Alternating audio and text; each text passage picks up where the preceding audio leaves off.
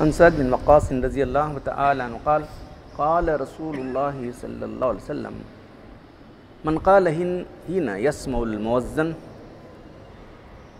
हीन यसमुल मुअज़्ज़िन ला इलाहा इल्लल्लाहु वहदहु ला शरीक लह व अशहदु अन्न मुहम्मदन अब्दुहु व रसूलुहु रज़ीतु बिल्लाहि रब्बा व बि मुहम्मदिन रसूला व बिल इस्लाम दीना वफिर ज़म्बु अन सअद बिन वक़ास रज़ी अल्लाह तआला अन्हु क़ाल क़ाल रसूलुल्लाह सल्लल्लाहु अलैहि वसल्लम मन क़ाल हिन यसमुल मुअज़्ज़िन अशहदु अल्ला इलाहा इल्लल्लाहु वहदहु ला शरीक लह व अशहदु अन्न मुहम्मदन अब्दुहु व रसूलुहु रज़ीतु बिल्लाहि रब्बा व बि मुहम्मदिन रसूला व बिल इस्लाम दीना वफ़िर दम्बु सद वक़ास रज़ी अल्लाह तु से रिवायत है कि अल्लाह के रसूल सल्लल्लाहु अलैहि ने फरमाया, जब तुम में से कोई शख्स मौज़ुन को सुने, यानी अज़ाँ सुने और उसका जवाब दे, वो सब हदीसें आ तो अज़ाँ सुनकर उसका जवाब देने के बाद ये कलिमात कहे, मैं इस बात की गवाही देता हूँ कि अल्लाह के सिवा कोई नहीं। अल्लाह अकेला है, उसका कोई शरीक नहीं। मैं इस बात की गवाही देता हूँ कि मोहम्मद अल्लाह के बंदे और रसूल हैं फिर ये बात कि मैं अल्लाह के रब होने पर राज़ी हूँ। रज़ी तो बिल्ला रब्बा। मैं अल्लाह के रब होने पर राज़ी हूँ। और मोहम्मद सल्लम के रसूल होने पर राज़ी हूँ। और इस्लाम के दिन होने पर राज़ी हूँ।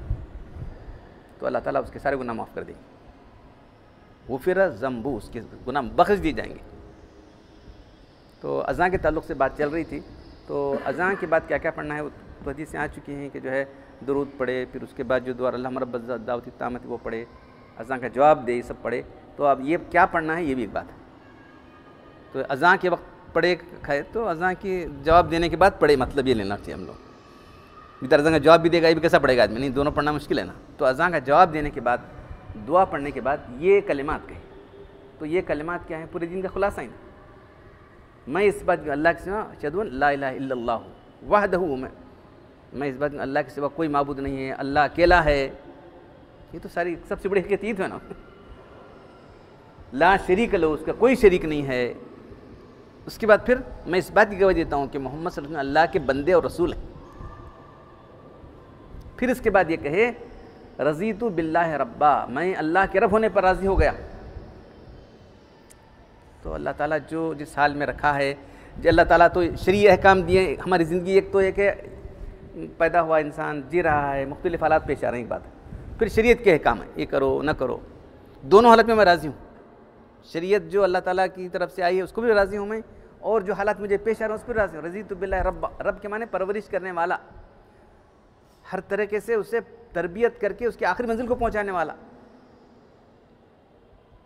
रब रब कौन होता है जो उसकी पैदाइश करने वाला, पैदाइश करके उसकी सारी ज़रूरतें पूरा करने वाला और उसको आखिरी मंजिल तक ले जाने वाला फाइनल स्टेज को ले जाने वाला। रब रब के माने वो है। तो अल्लाह हमारा रब्बुल आलमीन है। तो मैं राज़ी हूँ अल्लाह के रब होने पर।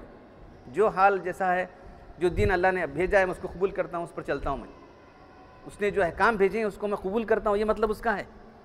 उसकी किसी हुक्म की नाफर, नाफरमानी नहीं करता फिर उसके बाद जो हालात आ रहे हैं सख्ती भी आ रही है, नरमी भी आ रही है, राहत भी आ रही है, मुसीबत भी आ रही है बीमारी भी आ रही है, सेहत, ये सब पर मैं राज़ी हूँ।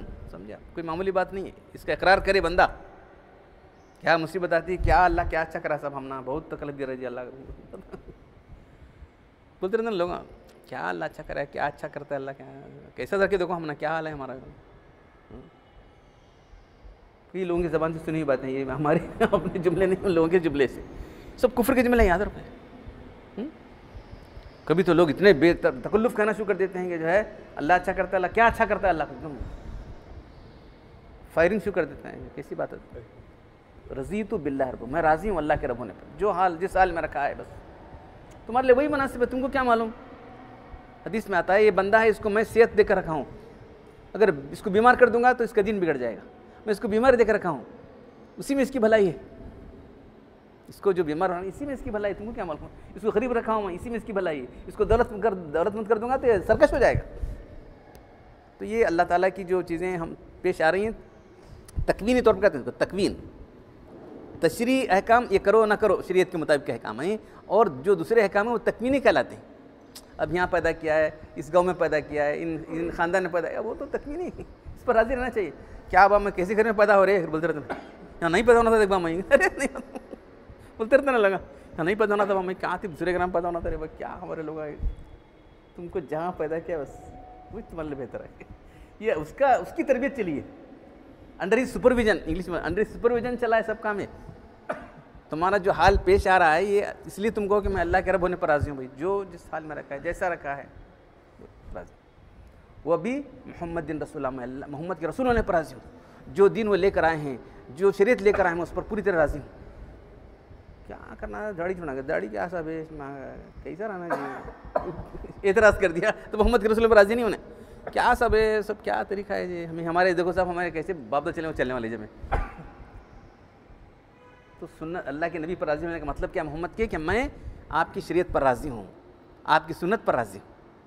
देख रहे हैं आप? बहुत से लोग सुन्नत के खिलाफ बिदतों में फंसे हुए देख रहे हैं? जिंदगियाँ बिदतों में चल रही हैं हमारे।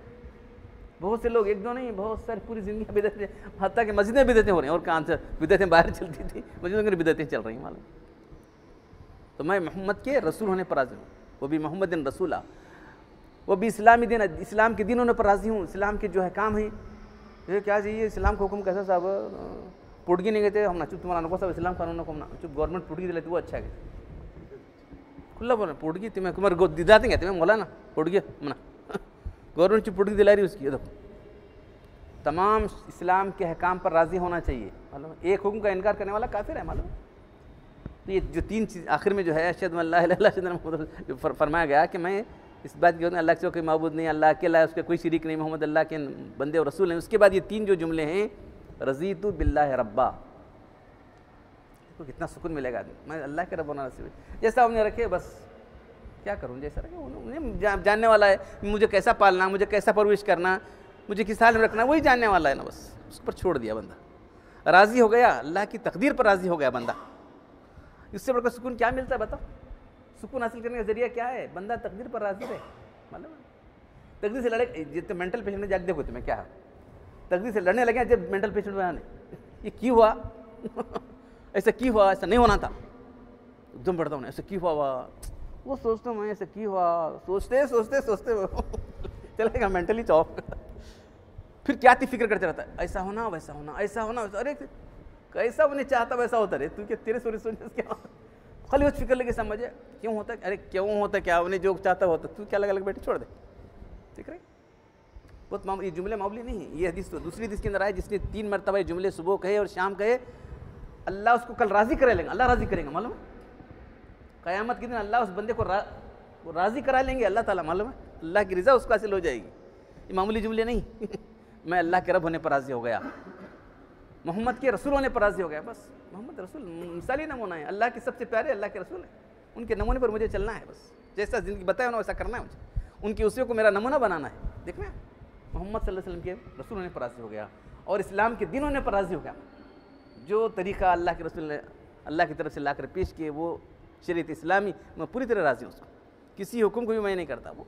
अरे, हमारे लिए, हमारी सहूलत के लिए, हमारी आसानी के लिए, हमारी भलाई के लिए अल्लाह ने शरीत नाजिल फरमा भाई अल्लाह क्या पड़ी थी? सब तुम्हारा काम बोलने के लिए। सूर्य बकरा के उनचास शुरू को देखो। या लिजन इज़ात अदैन बिदैन इलाजली आई मान लो जब तुम आपस में मामला करो, उधार का तो लिख लिया करो। अल्लाह क्या पड़ी थी तुम्हारे मामला बोले तो इसको आयत मदायना जो है अल्लाह आयत रहमत है। तुम्हारे एक पैसे के लिए अल्लाह ताला इतनी लंबी आयत, सबसे बड़ी आयत हुई है कुरान के, मालूम? लिख लिया करो, गवाह बना लिया करो। तुम्हारे इतनी फ़िक्र है अल्लाह को? ये देखो। तुम्हारे एक पैसे की इतनी फ़िक्र है, अल्लाह ताला को तो तुम्हारी ज़िंदगी की, तुम्हारे आखिर कितनी फ़िक्र है बताओ। उलमा ने फरमाया मुफसरीन ने, ये आयत मदायना जो है, आयत रहमत है। समझा? तुम लिख लिया करो, गवाह बना लिया करो, उसके बाद दो मर्द दो मर्द नहीं एक मर्द, दो औरतें ले लिया करो। मामला लिखने में सुस्ती मत करो। कितना अल्लाह ताला कितना बोल रहे हैं, क्या बोल रहे हैं? कोई बाप भी बेटे को नहीं बोलता, कोई दोस्त भी दोस्त को नहीं बोलता, इतना तफसील से बयान किया। कि तुम्हारे आपस में झगड़े नहीं होना, सुकून से रहना, तुम्हारे पैसे में नुकसान नहीं होना, उसके पैसे नुकसान नहीं होना, क्या है? तो अल्लाह के रब होने पर राज़ी होना कोई मामूली बात नहीं है। सब हमारी भलाई इसके अंदर है। आदमी गौर करके देखेगा, सब हमारी भलाई। अल्लाह के रब राज़ी हो गया, बस। जो हाल रखा है, बस वही वही हाल बेहतर है। जिस हाल में हो रखे वही हाल बेहतर है। तुम एक चाह रहे हो तुम्हारे चाहे, तुम्हारा तुम्हें क्या मालूम? वो अच्छा है, तुम्हारे हाल, वो अच्छा नहीं अल्लाह ने तो तकदीर पर राज़ी रहना मेंटल पेशेंट और तमाम मेंटल जाके ज़रा आप जायज़ा लेकर देखेंगे। एक तो साइकोसिस एक न्यूरोसिस है। न्यूरोसिस वो क्या होता है, क्या होता है, क्या होता है, क्या, अल्लाह पर भरोसा करो भाई, अल्लाह अच्छा करता है। जो कुछ हो चुका है, अल्लाह के हुक्म से हुआ है, बस। उसमें क्या तुम्हारा क्या चलने वाला? हुक्म अल्लाह का चला है। साइकोसिस न्यूरोसिस बस ये दो बीमारियाँ हैं। एक जो हो चुका है, उसके बारे में बेफिक्र, आदमी जो है बेनतिया फ़िक्र करता है मेंटल ख़राब कर लेता है। होने वाला है, उसके बारे में परेशानी, मुबतला होता है। एंगजाइटी न्यूरोसिस साइकोसिस न्यूरोसिस सब का इलाज मौजूद है जो तीन जुमले हैं, मैं अल्लाह के रब होने पर राज़ी हो गया बस। मोहम्मद सल्लम की जो है, नबी होने, रसूल होने पर राज़ी हो गया बस। जो तरीका हमारे लिए मॉडल हुआ। फिर इस्लाम के दिन होने पर इस्लाम जो अल्लाह का दीन है इन नदीन इस्लाम, अल्लाह के नज़दीक पसंद दीन इस्लाम है। इस पर चलने से तुम्हारी कामयाबी हो गया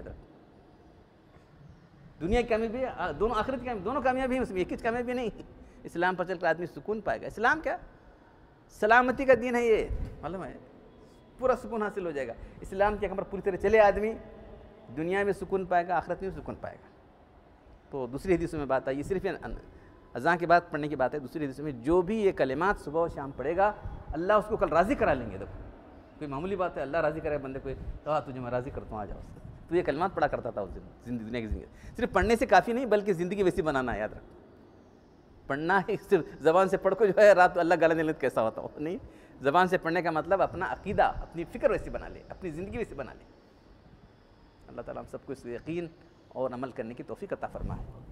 अल्हम्दुलिल्लाह रब्बिल आलमीन। वस्सलातु वस्सलाम अला रसूलिल करीम। रब्बना आतिना फिद दुनिया हसनतम व फिल आखिरति हसनतम वकीना अज़ाबन्नार। रब्बना ज़लमना अनफुसना व लम तगफिर लना व तरहमना लकुनन्ना मिनल